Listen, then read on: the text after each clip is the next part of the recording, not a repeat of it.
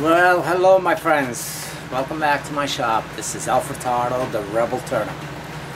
Uh, this today is uh, probably not the best day for me to be out in the shed. Not only because it's raining outside, but because I was going to be turning this beautiful piece of um, bottle washer that I picked up yesterday, and I knew it was problematic right from the beginning. And uh, I was going at it, and today I was just doing a little bit, and I was going to continue with the video, and it blew up.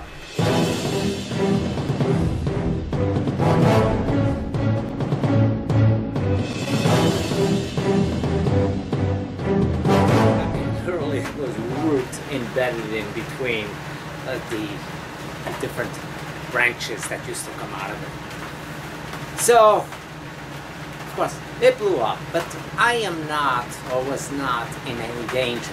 I, because when I'm roughing, I'm not in front of the lathe. Uh, you know,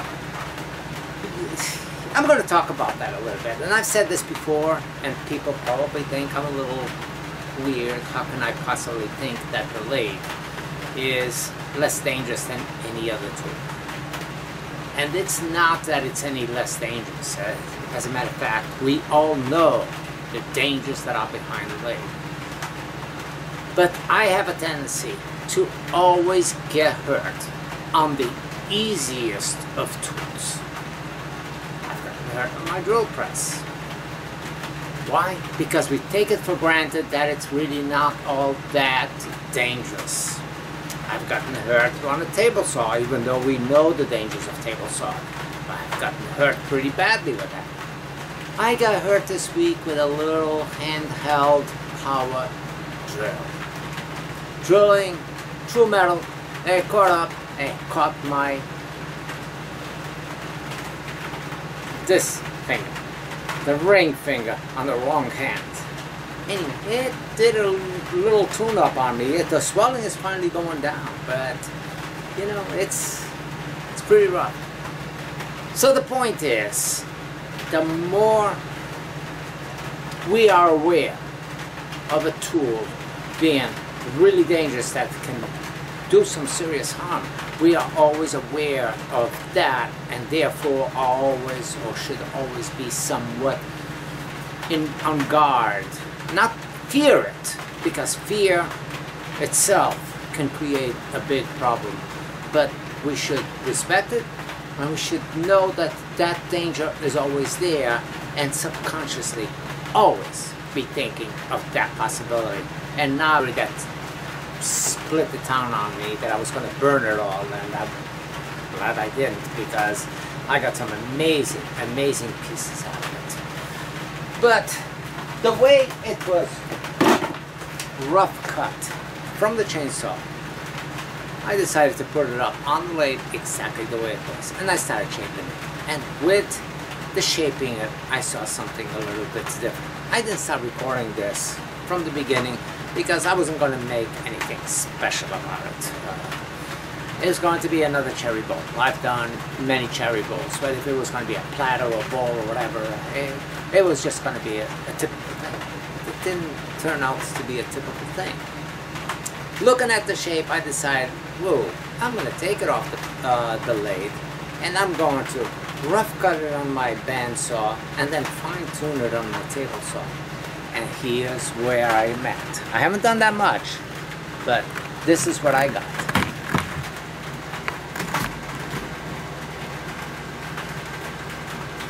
Like I said,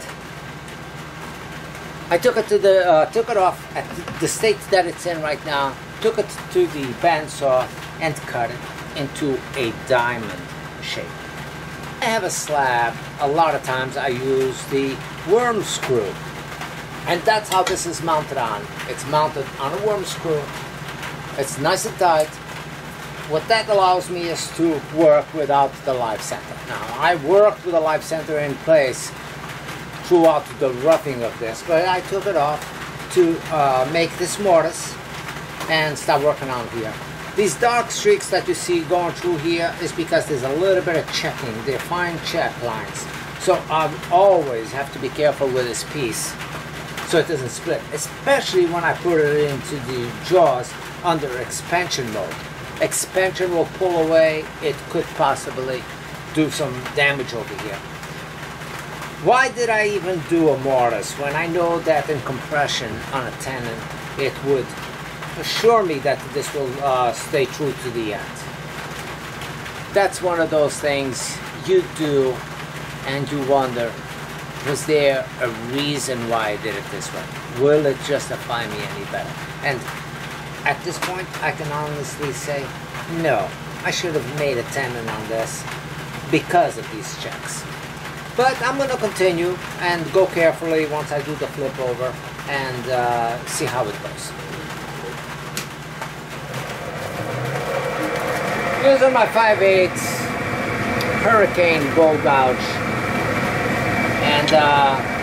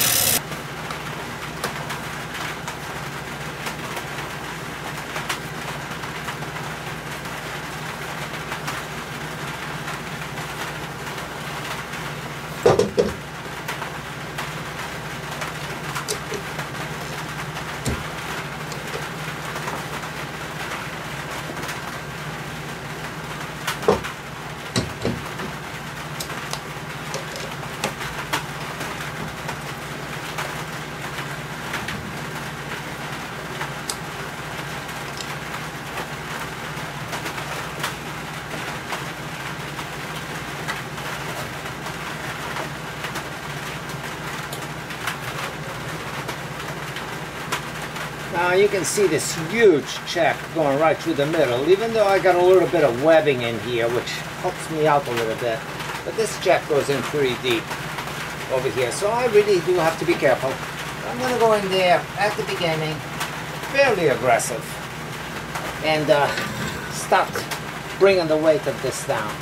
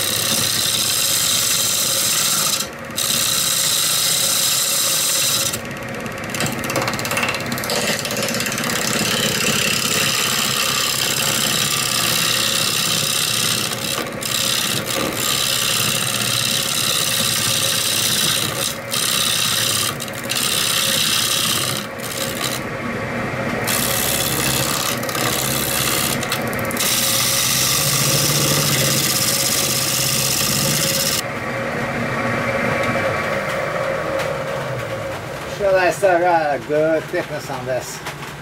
I still gotta go a little bit and uh, I'll see how it's clearing up on this before I decide how thin I want to make it. Uh, because I might want to come out a little bit more from the bottom on this. But that's starting to look pretty good. I'm just about on the inside of this area here. And again, I will also decide on what I'm doing with this, whether if I'm bringing it all the way down, which I probably will.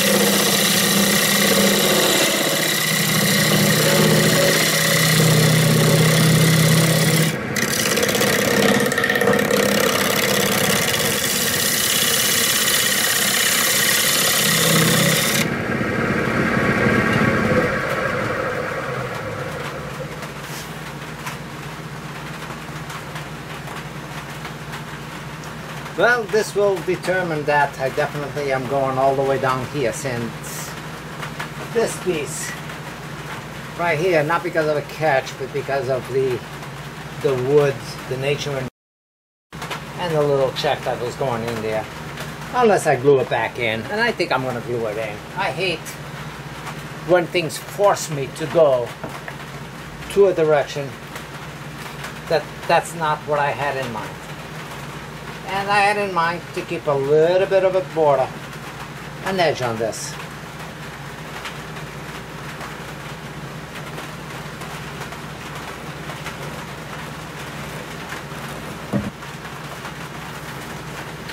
Alright, I'm gonna let this stay on for about 10 minutes. Get that glue to really penetrate both sides. I mean, it is thin CA, but uh, thin CA doesn't fill voids. So I'm relying on the, uh, the fibers to get saturated and lock up.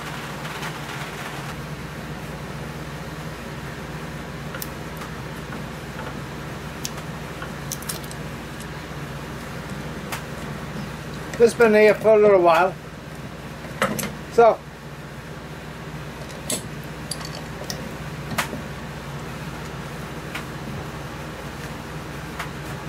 to go in here a little bit longer and uh, kind of work on the shape a little bit longer. I have to be careful so pieces don't fly off on this. Still very likely.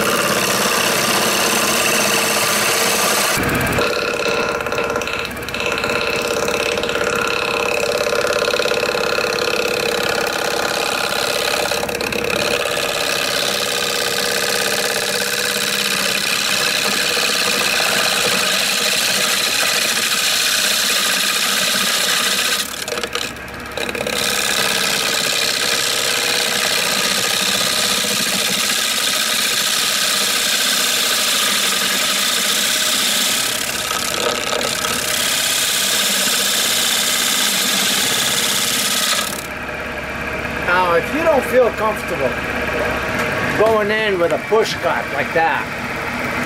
Even though it uh, will give you the best cut. But you can always do a shear scrape. Turn your tool quite a bit with a flute almost parallel to your teeth. Just come in there and follow your tool rest. That's why it's important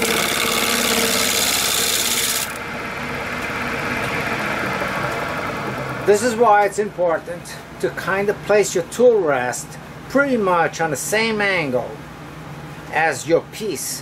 So when you're going in, you're following up the line, the same profile as your tool. So the thickness is beginning to look pretty good.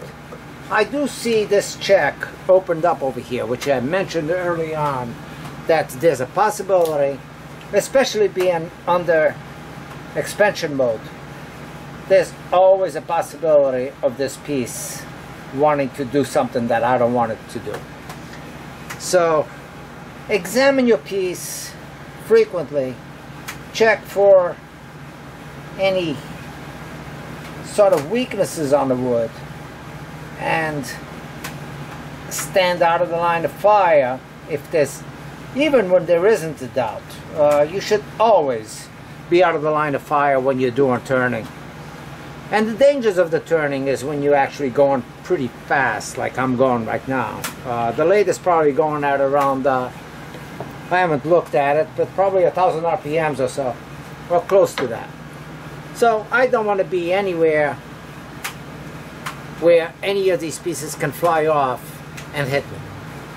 So stand off to the side and work it in. Now also be careful with your elbow. Making sure that you're not forgetting those wings as you're going in. So stand off the back. Stand off the the line of fire and keep your hand and everything on this side of the tool rest. Don't, don't be forgetful and come out here. It could be devastating on the damage that it could uh, cause. So I always urge you, please be careful. Don't be afraid of the lathe, but respect the lathe and always be aware of your surroundings and what you're doing. That is the key. Now, there's one area here that I'm a little disappointed. This little piece has flown away and it's going to force me to come up to slightly, about a quarter of an inch thickness on all of this. So on that, I'm going to do a couple of shear scrapes on this, see if I can get to that down.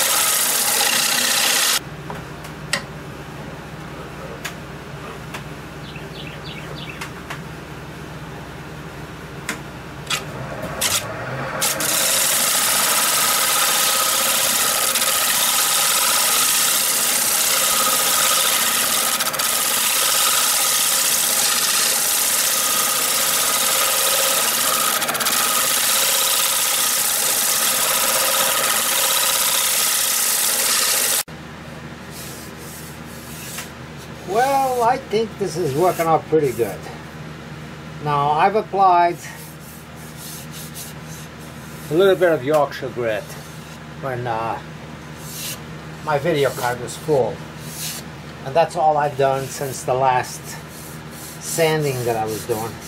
Sanded to 400 and uh, some fine steel wool.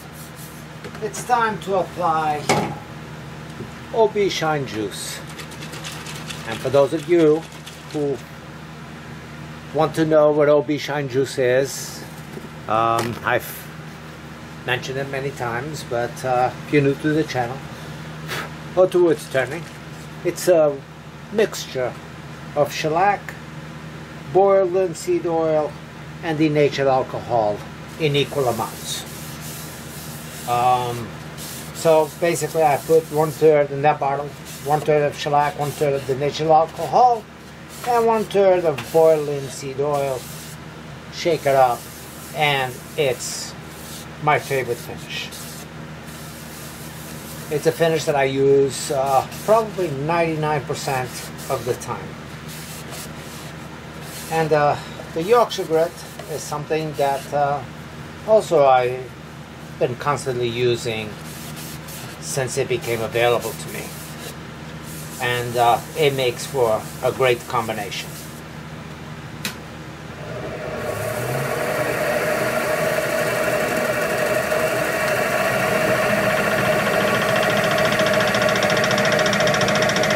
Um, cherry platter.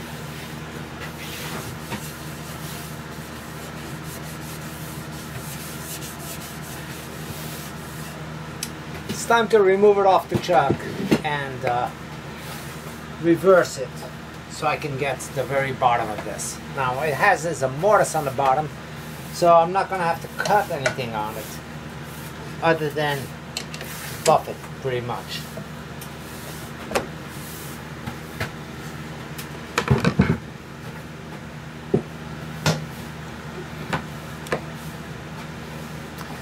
Now, because I want to mount it this way, and generally I use my live center which would have a point and it would uh, make an indent.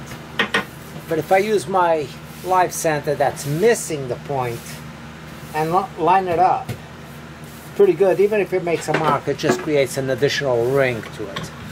So that's what I'm going to do in this case.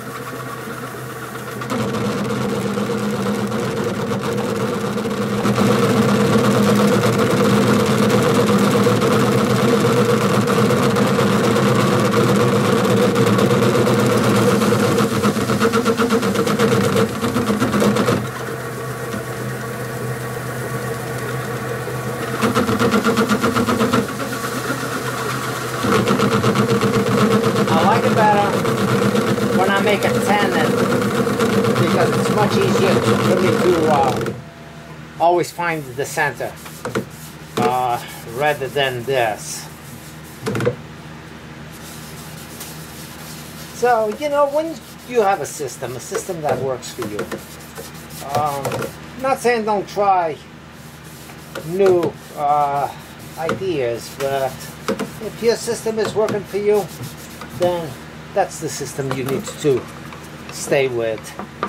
And uh, not necessarily what somebody else is showing you. And the example is, you know, I generally make a tenon and I have no problem finishing up the bottom. I made a mortise on this one and uh, it's gave me a little bit of trouble on that.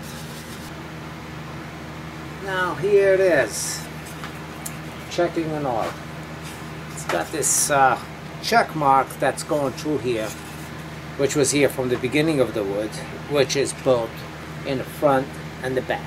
There's no light going through it, but it was one of those areas that I was always aware and always on a lookout, making sure that it didn't fly out on me.